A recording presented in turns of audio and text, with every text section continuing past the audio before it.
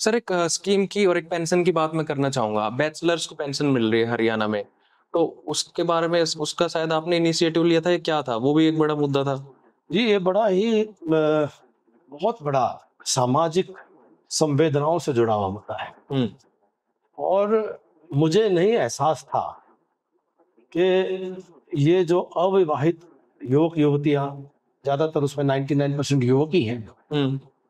कि हरियाणा की लंबे समय से जो जेंडर रेशो थी हम्म, जो लिंगानुपात था उसमें महिलाओं की कमी होने के कारण से हम्म, एक बहुत बड़ा वर्ग हम्म, वो हर गाँव में अविवाहित और 40-45 वर्ष की आयु को क्रॉस कर चुका है।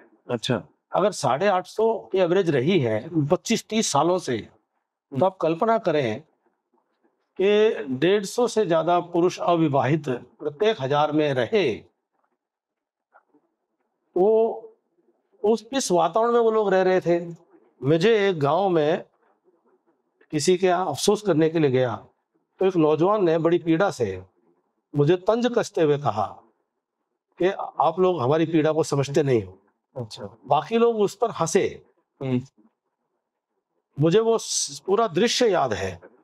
बहुत सर्दी में कंबल कंबल में लिपटे हुए लोग एक ज़मीन पर अफसोस में बैठे हुए लोग और उस नौजवान की पीड़ा पर अचानक जब उसने दर्द का बयान किया तो सब हंस पड़े।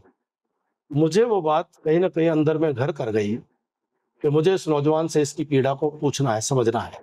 हम्म, मैंने उससे कॉल करके पूछा उसका नंबर लिया बाद में कॉल किया कि भाई साहब मुझे बताओ। उन्होंने बताया पूरी जो पीड़ा बताई हम्म, कैसा हम लोग सक्षम हैं हम परिवार पाल सकते थे। हम परिवार बढ़ा सकते थे परिवार चला सकते थे। हम इच्छा से अविवाहित नहीं है। हम परिस्थितियों के कारण अविवाहित रह गए हैं। हम्म, हमारी ज़मीन भी है हमारी नौकरी भी है हमारे पास काम भी है।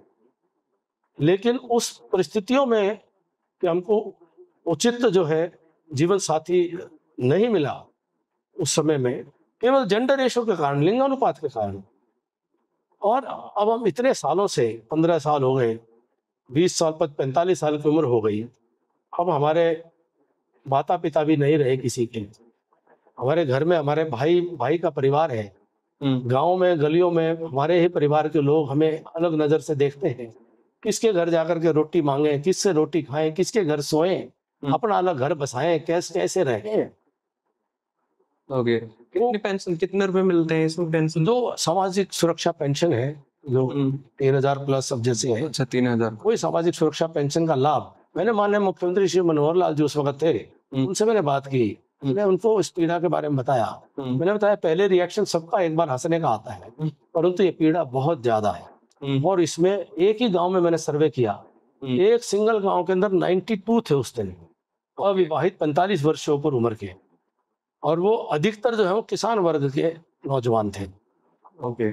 तो इतना बड़ा संकट बना हुआ। हम्म। कि समय रहते तथा कथित हमारे समाज के जिम्मेदार लोगों ने। हम्म, मैंने इसमें बहुत खाप संस्थाओं से बात की ये 25 साल पहले इस चीज़ का समाधान सोचना चाहिए था 40 साल पहले सोचना चाहिए था आज हमको इसमें इन्वॉल्व होना चाहिए। हम हर किसी चीज़ में इन्वॉल्व हो जाते हैं हर किसी मुद्दे में खड़े हो जाते हैं। हम्म। जो रोज हमारी नाक के नीचे गाँव में इतना गंभीर मुद्दा है इसको लेकर के कभी किसी ने कोई स्वर भी नहीं उठाया। ये भी है। तो मैंने सबने फिर साथ दिया। हम्म, मुख्यमंत्री जी से बातचीत की मुख्यमंत्री जी ने इसकी पीड़ा को समझा हम्म, और इसकी घोषणा उन्होंने की। इससे पहले कभी विधानसभा में हमारे विधान 2014 से 19 के कार्यकाल में इधर समालका से विधायक होते थे रविंद्र माछरोली उन्होंने एक बार विधानसभा में इस विषय को उठाया तो पूरी विधानसभा में अट्ठास हुआ। अच्छा। तो वो दृश्य भी मुझे याद था कि हम कहीं ना कहीं उस गंभीर और संवेदनशील मुद्दे को नजरअंदाज कर रहे हैं। ओके। ये है सीन आज मुझे खुशी है कि हाँ। ये नहीं है कि पेंशन मिली इस बात की खुशी है। हम्म, खुशी है कि इनकी पीड़ा को समझा है। इसके ऊपर यूनिवर्सिटीज में सरकारें कोई रिसर्च कराए। हम्म, और इसकी पीड़ा को समझ करके इसका समाधान क्या हो सकते हैं? सरकारों का ध्यान तो गया इस वर्ग की तरफ़। ओके। तो इसकी चिंता करने की ज़रूरत है। उनमें अधिकांश कोई नशे या दूसरे इधर उधर की चीज़ों में जाने को अपने हालात के कारण मजबूर हो सकते हैं ऐसे लोग। उनको बचाना पड़ेगा। जी।